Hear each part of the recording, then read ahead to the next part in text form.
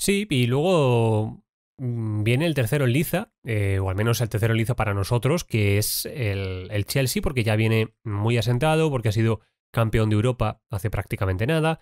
Em, yo no creo que esté a ese nivel como para decir, bueno, el Chelsea este es el año en el que va a volver a pelear por, por la Premier, o al menos yo, yo lo creo de esa manera, pero es un Chelsea que ha hecho el que sacando el fichaje absolutamente mediático y, anunciado de, de Erling Haaland, para mí es el fichaje de la Premier League, que es el de Kaleidou Koulibaly, que es un central Mm, espectacular. Es verdad que ya llega con 31 años, pero mm, físicamente está hecho un toro. Yo creo que va a poder aguantar todavía bastante tiempo. Ahí tenemos a, a, Tiago Silva, que tiene 37 y está eh, todavía no está al nivel que supo estar, pero bueno, sigue estando vigente en, en, buena parte.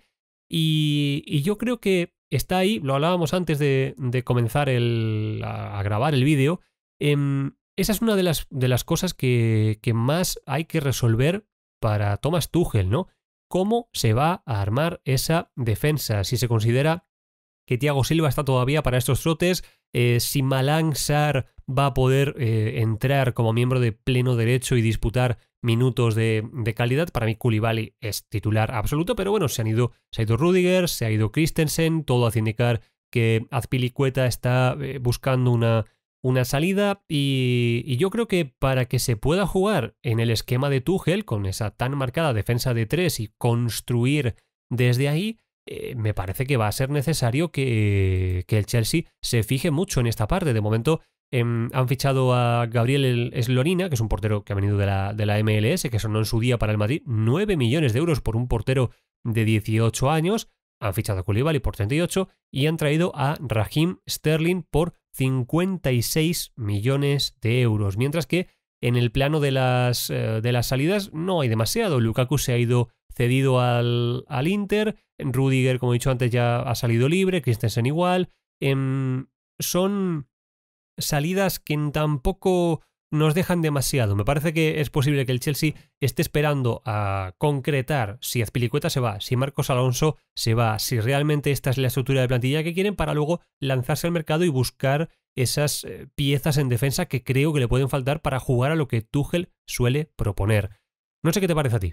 Estoy muy de acuerdo, muy de acuerdo en esto. Creo que es una, una temporada de transición tranquilamente podemos ver al Chelsea, puede repetir una tercera posición, pero puede yo creo que van a jugar a, Champions, ¿no? Obviamente, van a pelear todos en Champions, pero que no sorprenda si queda quinto, porque creo que va a afianzar más que nunca la, idea de no jugar con un nuevo referente, o sea, la salida de Lukaku y la, y la rampa de salida de Timo Werner dejan cambiado totalmente el esquema posible de, de Tuchel.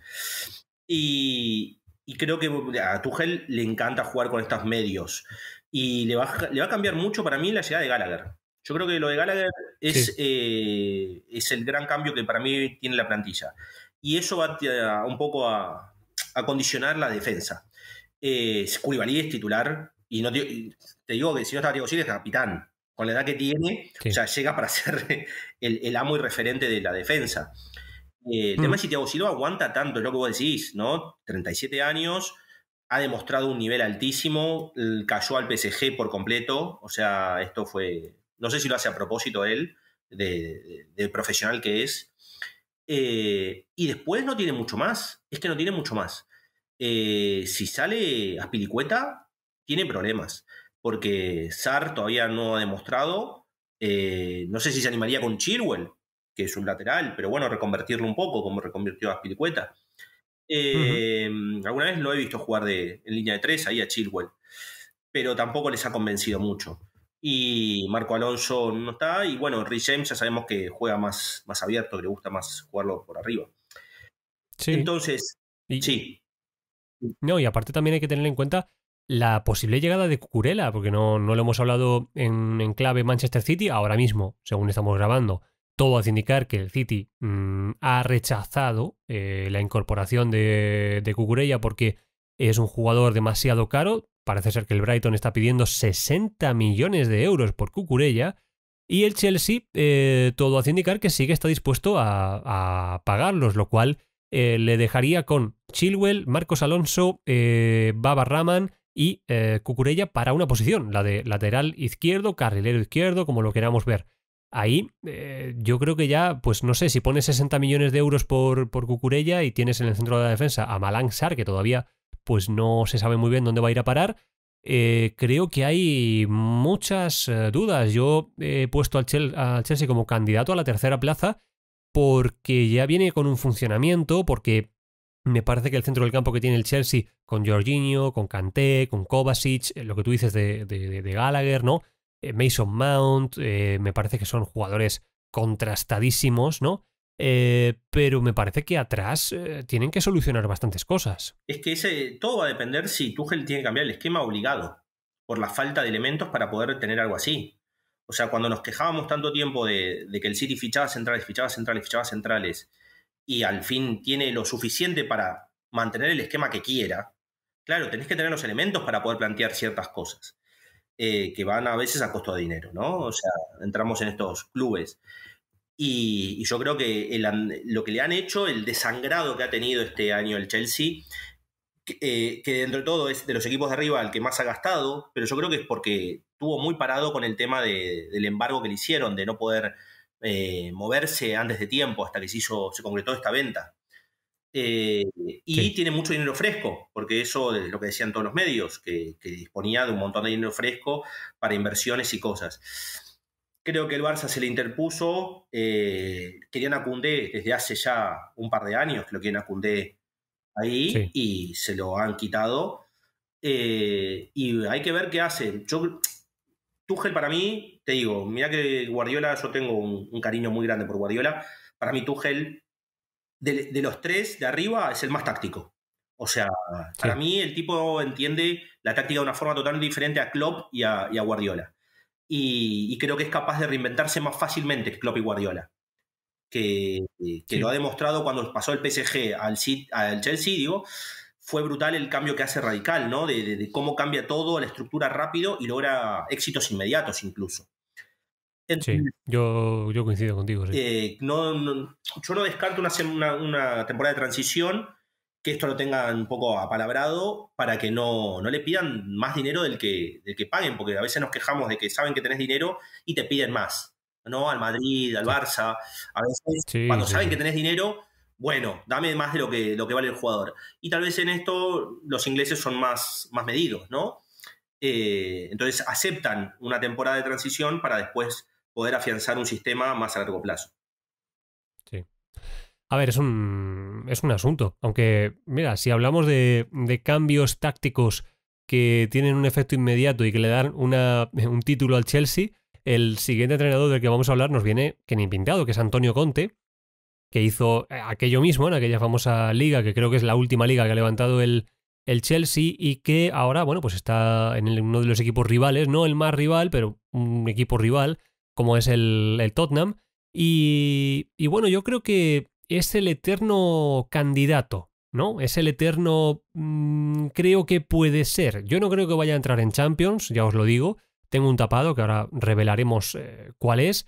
Pero me parece que es un proyecto con mucho sentido, un proyecto con un gran estadio, un proyecto eh, donde la figura de Conte está lo suficiente bien suficientemente bien marcada como para eh, delimitar, ¿no? Y para tratar de mantener, por ejemplo, a Harry Kane a pesar de todos los cantos de sirenas que, ha habido y para hacer algunos fichajes que la verdad son interesantes, ¿no? Ya hablamos de Richarlison aquí, de, de Bisuma, en Perisic me parece que ha sido un buen fichaje para, jugar en esa posición ¿no? de, de, carrilero muy ofensivo. Pero eh, bueno, luego también ha habido cosas como la de Lenglet, que a mí me ha, sorprendido que Conte apueste por, por Lenglet. Me parece que es un central eh, de los que a Conte no le suelen gustar. Es eh, lo contrario a agresivo, es lo contrario a contundente. Y, y no sé qué encaje va a tener Lenglet en la, en la Premier League, la verdad.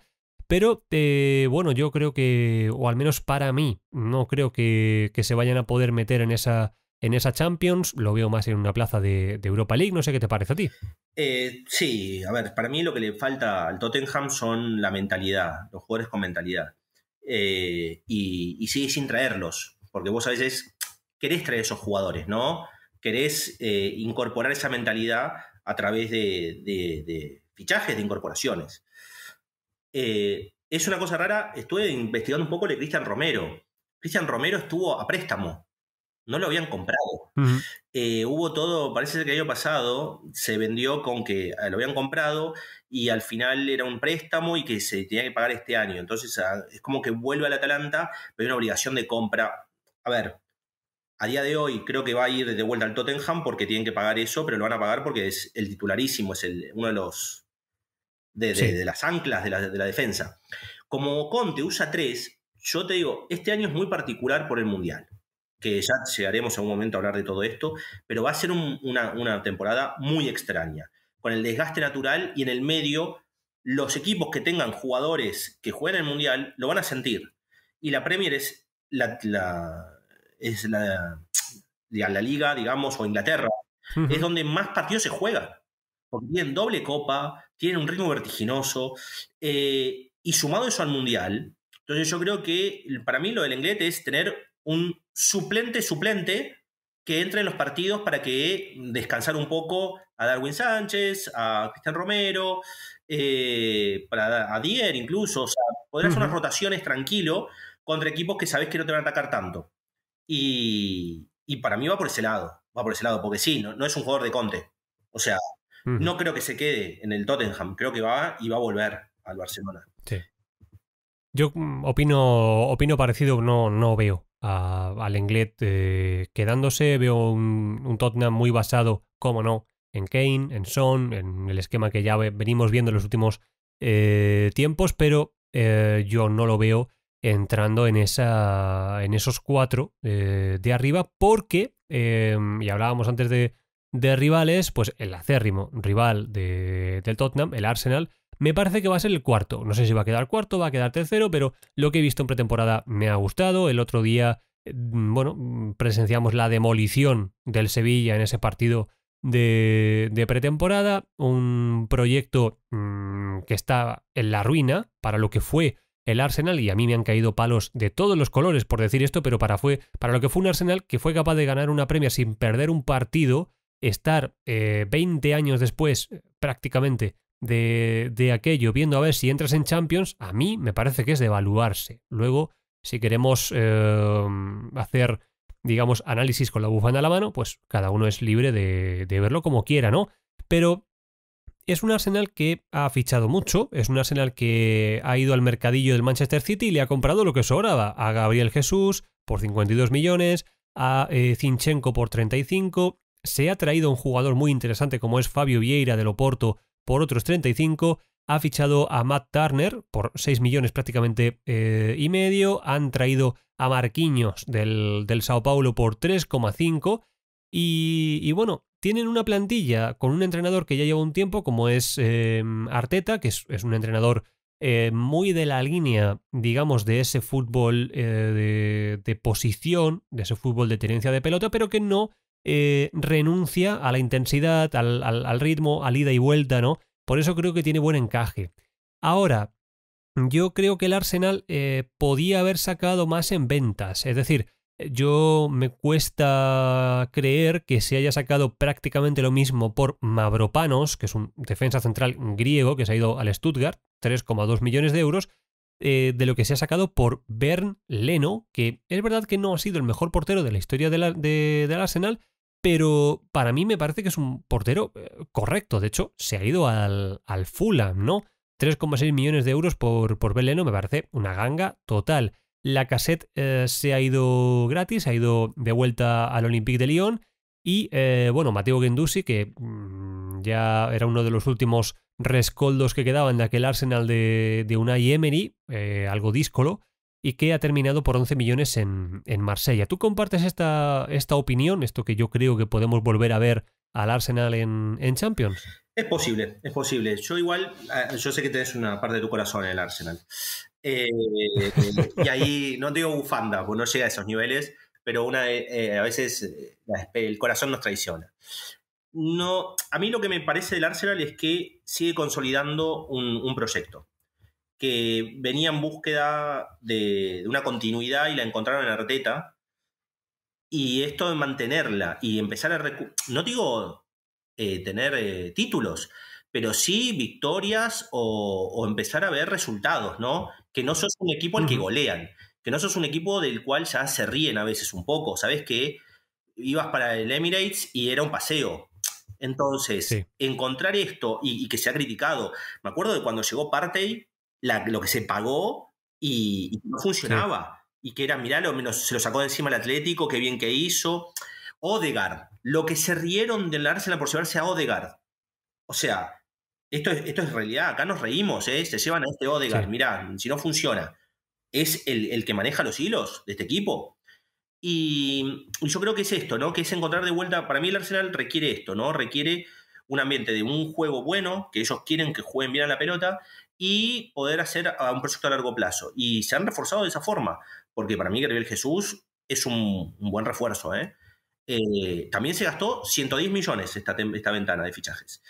Pero creo que lo avala un poco esto, ¿no? El, poder empezar a recuperar un poco esto en sensaciones. No sé si lo veo en Champions y hasta te digo más, me da miedo a veces cuando que lleguen a Champions equipos que no están preparados. Eh, el United llegó a Champions en su momento y no, no, estaba a la altura. Entonces, a veces, sí por el dinero, no por el papel que das. Pero, pero sí, a ver, números de Champions puede tener. Para mí, por arriba del Tottenham, sí, eso no lo dudo, no lo dudo. Y, te digo más, hasta te hago un, reto de hacer un programa de los efectos de tener un proyecto tan largoplacista que pasa. Hmm. Porque ya llegaremos a United de Ferguson, lo que es ahora, y el Arsenal, eh, el post-Wenger. O sea, lo que tarda un equipo en recuperarse después de tener algo tan sólido, tan concreto, eh, y cómo eso repercuta a largo plazo. Eh, a ver, yo creo que tiene un, tiene un equipo muy interesante el Arsenal. Muy interesante, pero además muy joven. Muy joven, de una media de edad bajísima. Y una media de edad bajísima de titulares. Porque vos puedes tener titulares, tenés, podés tener suplentes del Youth Team y no pasa nada. El tema es cuando son titulares, cuando son jugadores que van de titulares. Y, yo creo que a veces es eso lo que le falta para, para Champions, ¿no? Para ser competitivo, que clasifica el Champions no lo dudo. Pero tal vez que sea competitivo después, te falta un poco de experiencia. Yo es que mm, con el Arsenal eh, me pasa algo. Yo no soy ni mucho menos uh, gunner ni nada de eso. Pero eh, sí que es cierto lo que comentas. Yo he seguido mucho tiempo al Arsenal y, por lo tanto las he visto de muchos colores. no tengo una bufanda aquí en la habitación, tengo una camiseta, pero he estado en el Emirates, he visto mm, bastantes cosas y, bueno, es un club del que puedo hablar, digámoslo así. Lo que pasa es que es un club que ha pagado la poca ambición de sus dueños. Literalmente así. Es, eh, ha tenido un dueño, como es eh, Stan, Stan Kroenke, que eh, siempre ha aceptado el cuarto lugar, el dinero de la Champions, y olvidarse del asunto. No apretaba las tuercas a nadie para obtener títulos, pagaba buenos salarios y ya está. Y esa es, eh, o ese fue el denominador común de todos los proyectos del final de la era Wenger eh, y fue, yo creo, también un poco lo que terminó condenando a, a Unai Emery, que mucho más allá de que la gente se ríe de él o se rió de él en aquel momento por su manera de decir buenas noches en, en inglés, pues me parece que hizo un buen proyecto, pero eh, hizo un buen proyecto con lo que tenía, con un arsenal mediocre, con un arsenal de media tabla, con un arsenal eh, con una buena afición, pero con eh, una directiva que de fútbol sabe lo mismo que yo de la teoría de cuerdas. Entonces, pues a partir de ahí es muy difícil, muy difícil. Y sí, eh, el post de esos proyectos largos es complicado, pero se hace todavía más complicado cuando los dueños de los clubes no son aficionados de esos clubes. Y eso tiene mucho que ver con querer la casa, con cuidar lo que se propone, con eh, mirar bien quién está tomando según qué tipo de decisiones. Y este discurso nos lleva a la última parada, que es el Manchester United. Vais a ver en pantalla un pequeño blog de notas que os he dejado, escrito por mí, en el que os cuento la, situación que tiene este canal de YouTube para con el Manchester United. Os recomiendo que, que, lo leáis para que bueno, os enteréis. No quiero dar más eh, publicidad al, al asunto porque, bueno, me parece que el pobre Manchester United debe de ser que no tiene dinero para pagar la luz y tiene algún problema con que yo eh, haya puesto eh, un vídeo que es público, que está en YouTube. Eh, nada más. O sea, no, no, no, creo haber atropellado a nadie con un coche, pero es lo que, es lo que tiene.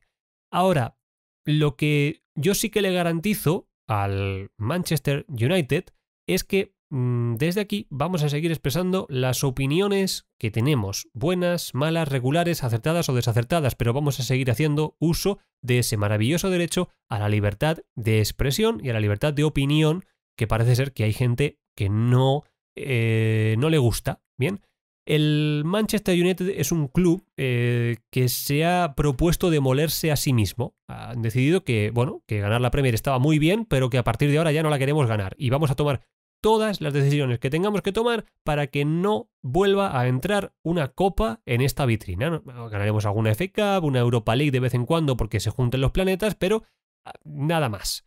Yo em, quiero destacar mucho la cuestión de que eh, ahora, bueno, pues la llegada de Tenac, ¿no? Em, el año pasado la, llegada de, de Ragnick, eh, parece, parece que hablan de una renovación del club, pero no es así. Em, lo que no puede ser es que se presente Tenac, que es un grandísimo entrenador y que hizo un proyecto espectacular en el Ajax, y le den las llaves del club nada más entrar. Y por lo tanto, sea capaz de poner 57 millones de euros para fichar a Lisandro Martínez, que es un gran jugador, pero es un jugador que no está de momento contrastado en una liga grande de Europa. La liga holandesa no es una liga grande. La liga holandesa es una liga en la que hay varios clubes de buen tamaño para lo que es esa liga y el resto son jugadores, eh, bueno, que por la tarde tienen otro trabajo. Entonces, eh, yo no sé si esa es una manera de medir a un jugador para realizar una operación de esas características. Se ha fichado también a Tyler Malacia, que viene del Feyenoord, por 15 eh, millones de euros, y yo ya anticipo que este no va a ser el último desembarco de estas características. Se está hablando de de Frankie de Jong también, que evidentemente es otra cosa eh, diferente, pero vamos a poner el caso, vamos a empezar a pensar que, eh, ojalá que no, pero Tenac pierde seis partidos consecutivos en las seis jornadas inaugurales y a Tenac le, le enseñan la puerta de salida. ¿Qué hacemos con los fichajes de Tenac? Quien traigamos después va a tener que entrenar a los jugadores que escogió Tenac. Por eso el entrenador no debe de escoger los fichajes, lo tiene que hacer la cúpula, un director deportivo, en fin, cargos que se crean para eso, una línea continuista del club. Me parece que em, el, sorpaso que le ha dado el Manchester City al United eh, tiene evidentemente mucho que ver con el dinero que ha puesto el jeque, lógicamente, pero también tiene mucho que ver con la inacción absoluta y total que han tenido la cúpula del club la desaparecida dirección deportiva, porque ahora de repente han vuelto a poner en el club a, Alex Ferguson, que lo hemos mirado antes y tiene 80 años, va a ser 81 ahora, espero que al menos le estén pagando, y a partir de ahí han empezado a desfilar entrenadores, fichajes, ahora compramos un 9, luego jugamos sin 9, luego compramos a otro 9, en fin. Cualquier cosa, absolutamente cualquier cosa es lo que ha ocurrido en Old Trafford en, este, eh, en esta década, ¿no? Y yo ya lo anticipo, no creo que el Manchester United vaya a meterse en la, en la Champions, aún con Cristiano Ronaldo y aunque ficharan a quien ficharan, porque em, aunque haya gente que no esté de acuerdo con eso, los clubes eh, ganan partidos con los jugadores, pero no solo con los jugadores, ganan partido con el clima, con la directiva, con el, em, la línea que tiene el club y con estar alineados con la afición. Y esto es un poco lo que yo pienso del Manchester United, es creo que no va a estar en esa, en esa Champions, mm, incluso creo que la va a tener mm, difícil para pelear por esa eh, Europa League. Espero que nadie se ofenda y no me manden otro eh, strike o no sé cómo llamarlo para, para, bueno, no expresar mi opinión a este respecto, porque como veis no he puesto ningún tipo de material que haga referencia a este, a este club. No sé qué te parece a ti, eh, Germán. A ver, lo que, mi problema con el Manchester United es que eso, esa, no bufanda, esa camiseta colgada que tenés, yo la tengo por United. Yo, yo era muy fan del United. Muy fan. Bueno, de hoy le tengo cariño. Pero de épocas de, de Cantona, yo me veía la Premier en los 90. Entonces tengo e-, ese amor-odio a veces. Recién me fijaba un poco hace un rato. Claro, tiene 34 jugadores en plantilla en este momento. 34 cuando los demás tienen 29, que es lo que la Premier te acepta. Entonces, eh, vienen y no se van. Y sacás jugadores de abajo que van a ser cracks. Y traes a Jadon Sancho por 75, por no, sé cuánto costó, 75, 80 millones. Y después no juega Jadon Sancho. Y, así es con todo, ¿no? Después tenés los problemas internos. Greenwood, pobrecito, este chico, bueno, pobrecito no por lo que hizo, ¿no? Pero lo colgaron y era una de las grandes apuestas. Entonces, Anthony Martial, que también lo ficharon por un dineral y no saben qué hacer con Anthony Martial.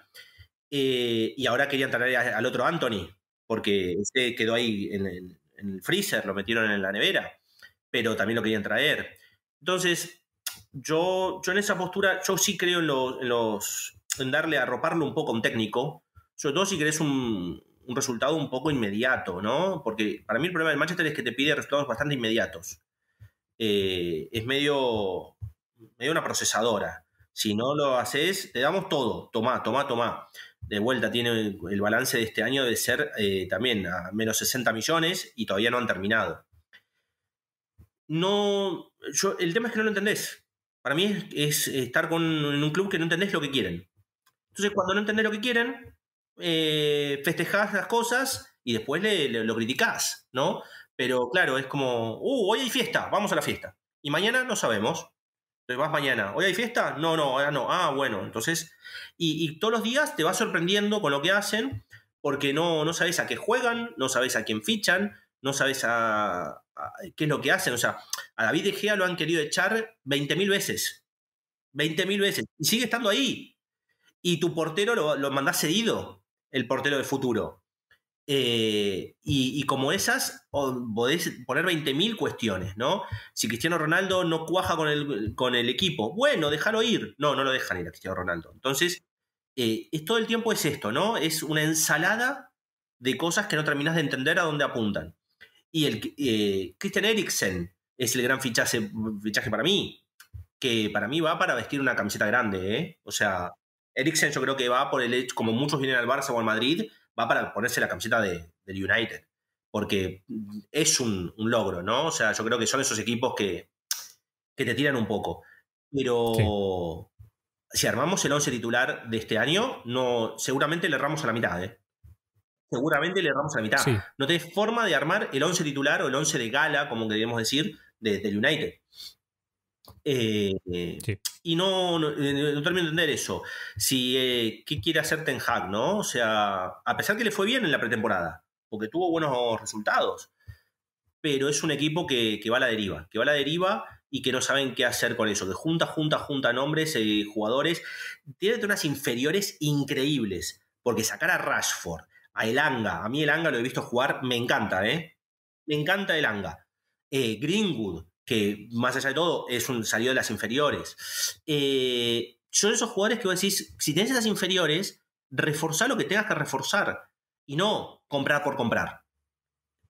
Eh, entonces, para mí es eso, es el barco a la deriva. El eterno barco a la deriva, pero es un, es un Titanic a la deriva, porque está forrado. Este es el tema, ¿no? Está forrado, no rinde cuentas, o no sé cómo las rinde las cuentas, porque siempre gasta más de lo que vende, y nunca, nunca hay problemas financieros en el Manchester United. Nunca, ¿eh? Entonces, bueno, no, no sé, es un mundo del revés el Manchester United. Y no le veo solución, ¿eh? Yo tampoco. Yo tampoco. A corto plazo al menos eh, no. Pero bueno, yo esto prometo hacerle, mm, hacerle un seguimiento, la verdad, y ir comentando un poquito lo que, lo que vaya ocurriendo porque me han tocado un poquito el, orgullo, por no emplear otra, otra palabra con todo esto. Pero... Nos censuraron cuando ni siquiera hablamos de ellos. Este es el problema, hablábamos de Cavani. Sí, pero bueno, eh, ¿qué, le vamos a hacer, eh, Germán? Es que la vida es así, pero bueno, mira,